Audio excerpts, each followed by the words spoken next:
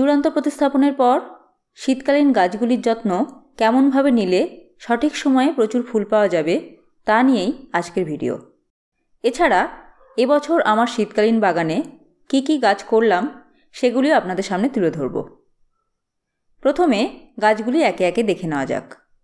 তারপর এদের যত্ন সম্পর্কে আসব। সবার প্রথমে আছে গাঁদা। বেশ কয়েক ধরনের গাঁদা এবার করেছি। এটা হলো সুগন্ধি সাদা রঙের স্টক। তার পাশেই আছে ডাইমরফোথেকা বা আফ্রিকান ডেইজি। বেশ কয়েকটি ডালিয়া করেছি। একেবারে ছোট চারা বসিয়েছিলাম।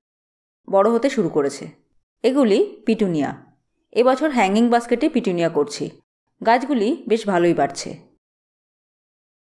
এটা হলো ন্যাস্টেশিয়াম। বেশ কয়েক রঙের আছে। কয়েকটি চন্দ্রমল্লিকাও করেছি। এই গাছগুলি অনেক আগে থেকে শুরু করতে হয়। আমরা ছোট চারা পুঁতেছি কিছুদিন আগেই। তাই গাছ খুব বেশি বড় ও ঝাঁকড়া হয়নি। এটা ল্যান্টানা ক্যামরা। একটি টবের মধ্যে পাইপ দিয়ে তার মধ্যে গাছ বসানো হয়েছে। গাছটি বড় হয়ে গেলে আরও ভালো লাগবে। বাগানবিলাস গাছে ফুল আসতে শুরু করেছে। এই গাছটিতে অনেক ফুল ছিল, বৃষ্টিতে ঝরে গেছে। এখানে আরেকটি ল্যান্টেনা ক্যামেরার টাওয়ার আছে। এটি জারবেরা। আমার জারবেরা গাছগুলিকে এই জামরুল গাছের ছায়াতে রেখেছি। এখন একটি গাছে ফুল এসেছে, বাকি গাছগুলিতেও খুব তাড়াতাড়ি ফুল আসবে। এটি ক্যামেলিয়া গাছ, নতুন পুঁতেছি। একটি কুড়িও এসেছে। ফুল ফুটলে ছবি পোস্ট করব। এখানে টমেটো ও লঙ্কা গাছের চারার দ্বিতীয় প্রতিস্থাপন করা আছে। এখন এদের চূড়ান্ত প্রতিস্থাপন করতে হবে। এই গাছগুলি ক্যালেন্ডুলা, পাত্র বড় বলে একটি পাত্রে চারটি চারা বসিয়েছি। এটি ডায়ান্থাস। এখানে এগুলি প্যান্সি। এই দুটি গ্যাজেনিয়া। ছোট গাছেই কুড়ি চলে এসেছে। এখন এগুলিকে পিঞ্চিং করে দিলে গাছ আরও ঝাঁকড়া হবে। এগুলি বিটের চারা, বীজ থেকে বানিয়েছি। বৃষ্টির পর এদের স্বাস্থ্য খারাপ হয়ে গেছে। চেষ্টা করব গাছগুলিকে বাঁচিয়ে রাখতে। পাশে আছে পিটুনিয়া আর অ্যাস্টার। থালা টবে পিটুনিয়া বসিয়েছি। এগুলি হলো ইম্পেশেন্স।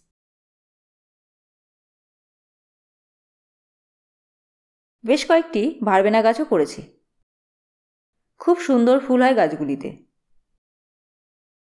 এই দুটি হলো বেলিস। এগুলি অর্নামেন্টাল কেল।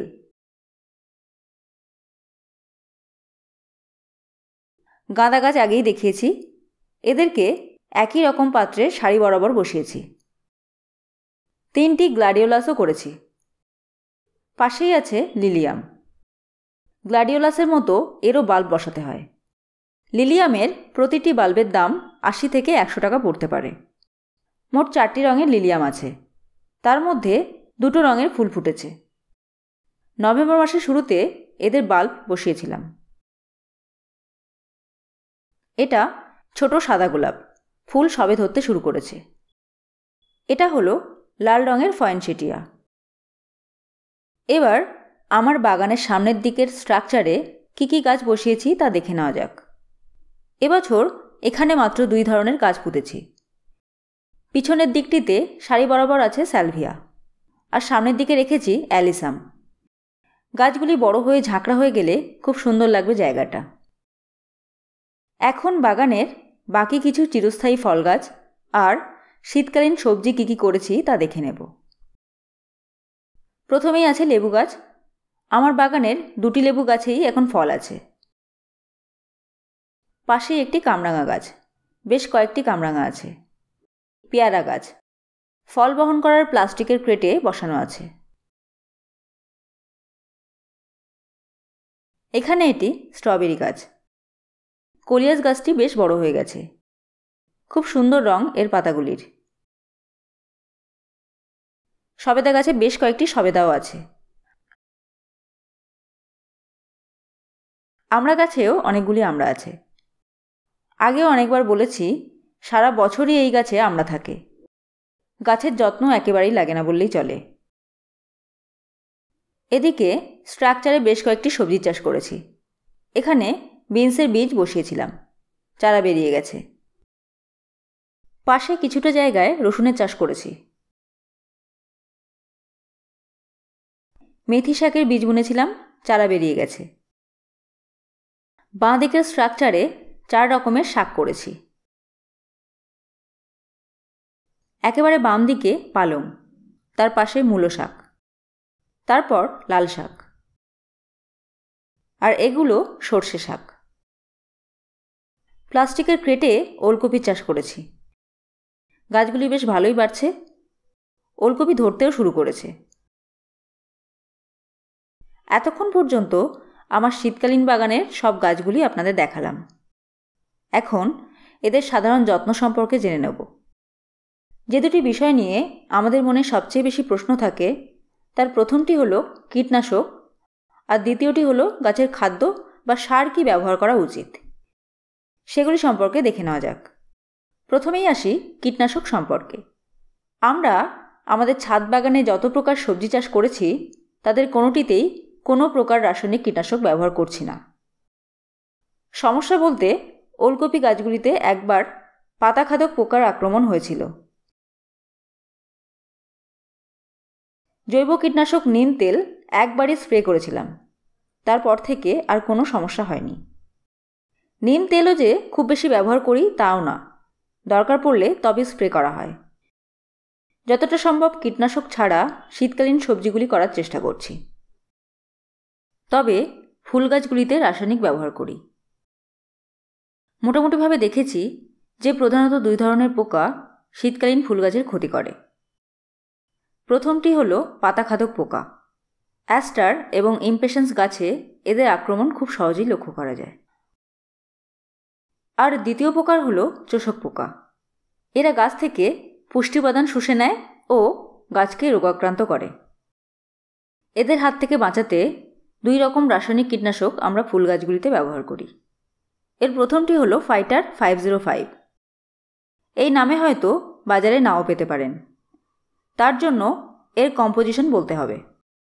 সেটি হলো ক্লোরোপাইরিফস ফিফটি পারসেন্ট এবং সাইপারমেথ্রিন ফাইভ পারসেন্ট পাতাখাদক পোকার জন্য এই ওষুধটি বেশ কার্যকরী। সাদামাছি, মিলিবাগ বা অন্যান্য চোষক পোকার জন্য আমরা ব্যবহার করি কনফিডর। এর রাসায়নিক নামটি হল ইমিডা ক্লোপ্রিট এছাড়া গাছের পাতা কুকড়ে যাওয়া একটি সাধারণ সমস্যা।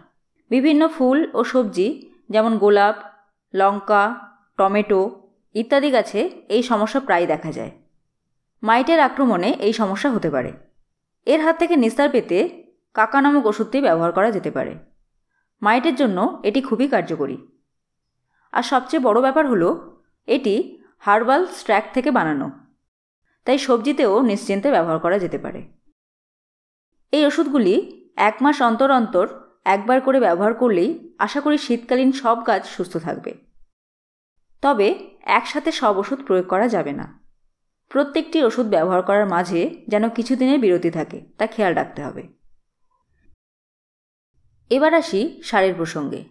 এক্ষেত্রেও জৈব ও রাসায়নিক দুই প্রকার সারের কথাই বলব। সমস্ত সবজি জৈব উপায়ে আমরা চাষ করছি। সবজির চারা বসানোর সময় ষাট শতাংশ মাটির সাথে চল্লিশ শতাংশ জৈব সার নিচ্ছি। আর সাথে হাড় গুঁড়ো, শিং চাছা নিমখোল মিশিয়ে নিচ্ছি। শাক জাতীয় সবজির বৃদ্ধির জন্য নাইট্রোজেন যেহেতু বেশি দরকার হয়, তাই শাকের জন্য মাটি প্রস্তুত করার সময় কিছু পরিমাণ ব্লাড মিল অথবা হুপ অ্যান্ড হর্ন মিল মিশিয়ে নিলে ভালো হয়। এগুলি কি তার বিশদে বলছি না যে কোনো সারের দোকানে গিয়ে নাম বললেই পেয়ে যাবেন। এইভাবে মাটি প্রস্তুত করে বীজ, বোনা বা সবজির চারা বসানোর কিছুদিন পর গাছ বড় হয়ে গেলে মাটিতে আরেকবার মিশ্র জৈব সার প্রয়োগ করতে হবে। সারটির উপাদানগুলি স্ক্রিনে লেখা আছে, দেখে নিতে পারেন। এছাড়া সবজির জন্য আমরা আর কোনো প্রকার যত্ন নিচ্ছি না। তাতেই আমরা ফলন বেশ ভালোই পাচ্ছি। ফুল গাছের জন্য বেশি পরিমাণ ফুল পেতে রাসায়নিকের ব্যবহার করা যেতে পারে। এর জন্য গাছের চূড়ান্ত প্রতিস্থাপনের সময় মাটিতে জৈব সার, হাড় গুঁড়ো, শিং চাছা ও নিমখোল দিয়ে গাছ বসাচ্ছি। তারপর থেকে প্রতি পনেরো দিনে এনপিকে টোয়েন্টি টোয়েন্টি টোয়েন্টি এই সারটি জলের সাথে মিশিয়ে সব ফুল গাছে স্প্রে করছি। এটি একটি ব্যালেন্স রাসায়নিক সার। এতে গাছের বৃদ্ধির জন্য প্রয়োজনীয় প্রধান তিনটি পুষ্টি উপাদান, অর্থাৎ নাইট্রোজেন ফসফরাস ও পটাশিয়াম সমপরিমাণে আছে। গাছ বড় হয়ে গেলে ফুল দেওয়ার জন্য নাইট্রোজেনের তুলনায় পটাশিয়াম ও ফসফরাস বেশি পরিমাণে দরকার হয়। তাই সে সময় এনপিকে কুড়ি কুড়ি কুড়ি এর সাথে আরও একটি সার দিতে হবে, সেটি হল এনপিকে দশ ছাব্বিশ ছাব্বিশ। এই সারটি গাছের গোড়া থেকে দূরে টবের কিনারা বরাবর মাটিতে মিশিয়ে দিতে হবে। দশ ইঞ্চি একটি টবের জন্য এক চা চামচ, দশ ছাব্বিশ ছাব্বিশই যথেষ্ট। যে কোনো প্রকার সার মাটিতে দেওয়ার পর জল অবশ্যই দিতে হবে। বাকি রাসায়নিক সার বা কীটনাশকগুলি কত পরিমাণে জলের সাথে মেশাতে হবে তা বললাম না। যে কোম্পানির সার বা কীটনাশক নেবেন, তার প্যাকেটের গায়েই এর মাপ লেখা থাকে। অথবা সারের দোকানে জিজ্ঞাসা করলেই জানতে পারবেন। এই সারগুলি ছাড়া ফুল গাছগুলির স্বল্পমাত্রিক পুষ্টি উপাদানের যোগান দিতে একটি মাইক্রোনিউট্রিয়েন্টস মাসে একবার করে আমরা ব্যবহার করি। এবার আসি জল কেমন দিতে হবে সে প্রসঙ্গে। এক একটি গাছের জলের চাহিদা এক এক রকম। সবার জন্য সাধারণভাবে আমরা একটি নিয়মই অনুসরণ করি। গাছে জল দেওয়ার আগে আমরা পাত্রের ওপরের মাটি দেখে নিই। ওপরের মাটি শুকিয়ে আসতে দেখলে তবেই জল দিই। এখন বেশি ফুল পাওয়ার জন্য কিছু সাধারণ তথ্য সম্পর্কে বলতে চাইছি। বেশি ফুল পাওয়ার জন্য প্রথম থেকেই গাছগুলিকে বেশি বেশি ডালপালা ছেড়ে ঝাঁকড়া করার ব্যবস্থা করতে হবে। এর জন্য যেটি জরুরি তা হল নিয়মিতভাবে পিঞ্চিং করা। সময়ের আগে ছোট গাছে কুড়ি চলে এলে কুড়িসহ ডালগুলিকে ভেঙে ফেলতে হবে। অনেক সময় কুড়ি না এলেও প্রধান কাণ্ডের ডগাটি ভেঙে দেওয়া যেতে পারে। এর ফলে গাছ নতুন নতুন ডালপালা ছেড়ে খুব সুন্দর ঝাঁকড়া হয়ে যাবে। শাখা পোশাকার সংখ্যা বেশি হলে সাধারণভাবেই ফুলের সংখ্যাও বেশি হবে। চন্দ্রমল্লিকা, পিটুনিয়া, গাঁদা, ইমপেশেন্স, অ্যাস্টার, অ্যালিসাম ইত্যাদি অনেক গাছেই পিঞ্চিং করা যেতে পারে। চূড়ান্ত প্রতিস্থাপনের পর গাছ একটু বড় হয়ে গেলেই পিঞ্চিংয়ের কাজ শুরু করতে হবে। এখন প্রশ্ন হলো, পিঞ্চিং বন্ধ কখন করা উচিত? সেটি নির্ভর করবে গাছ কোন মাসে সবচেয়ে বেশি ফুল দিচ্ছে তার ওপর। উদাহরণস্বরূপ, পিটুনিয়ার কথা ধরা যেতে পারে। আমরা যদি ধরে নিই যে পিটুনিয়ার ফুল জানুয়ারি মাসের প্রথম সপ্তাহ থেকে নেওয়া শুরু করব, তাহলে চূড়ান্ত প্রতিস্থাপনের পর থেকে ডিসেম্বর মাসের মাঝামাঝি পর্যন্ত কুড়ি ছাঁটাইয়ের কাজ করা যেতে পারে। মোটামুটিভাবে গাছ চূড়ান্তভাবে ফুল দেওয়ার এক মাস আগে কুড়ি ছাঁটাইয়ের প্রক্রিয়া বন্ধ করে দিতে হবে। এবার গাছ ফুল দিতে শুরু করার পর দীর্ঘদিন ধরে সমান গুণগত মানের ফুল পাওয়ার জন্য কি করা উচিত তা দেখে নেওয়া যাক। এর জন্য শুকনো ফুল নিয়মিতভাবে গাছ থেকে ছাঁটাই করতে হবে। একেবারে বৃন্ত থেকে পুরো পুষ্পাক্ষ সহ ফুলটিকে কেটে ফেলতে হবে। ফুল দেওয়ার সিজনে গাছে বীজ তৈরি হতে দিলে হবে না। তাতে গাছ তাড়াতাড়ি বুড়িয়ে যাবে। এর ফলে বেশি দিন ধরে ভালো ফুল পাওয়া যাবে না। জল দেওয়ার সময় ফুলের পাপড়িগুলি যাতে ক্ষতিগ্রস্ত না হয়, তার দিকেও খেয়াল রাখতে হবে।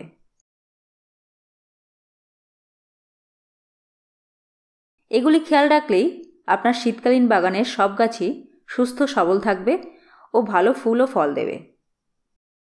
আজ তাহলে এই পর্যন্তই। কামনা করি আপনার বাগান যেন সারা শীতকাল জুড়ে নানা রকম সবজি ও নানা রকম ফুলে ভরে থাকে। ধন্যবাদ। আপনার দিনটি শুভ হোক।